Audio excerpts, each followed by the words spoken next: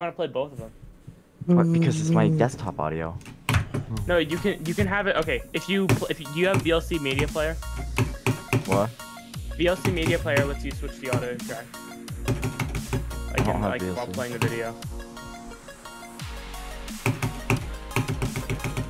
I just wanted DaVinci, bro.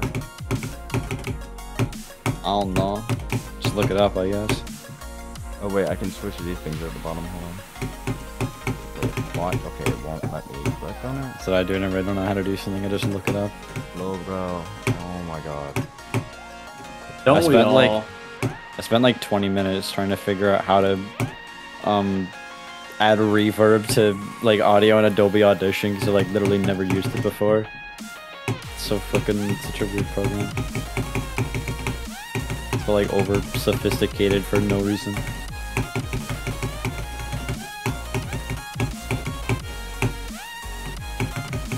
I swear, like half of the shit that they add to those like programs, you just never use. Like you never touch them ever. They're just there. Well, unless you're like a professional video.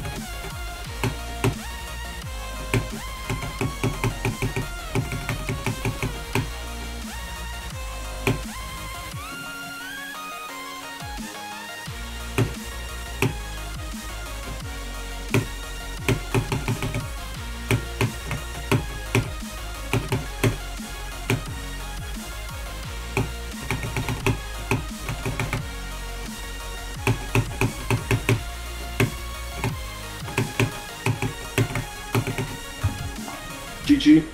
oh, nice, GG. This level Let's- kind of Oh, goes GG. crazy though.